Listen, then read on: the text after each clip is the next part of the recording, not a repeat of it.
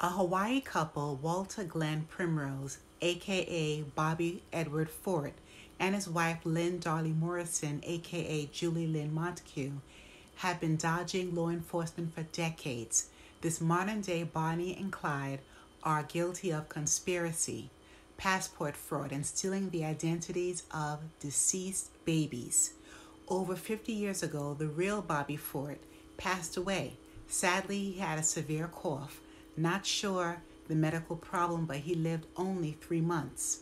Walter Primrose used the baby's personal data to join the U.S. Coast Guard, which falsely made him 12 years younger.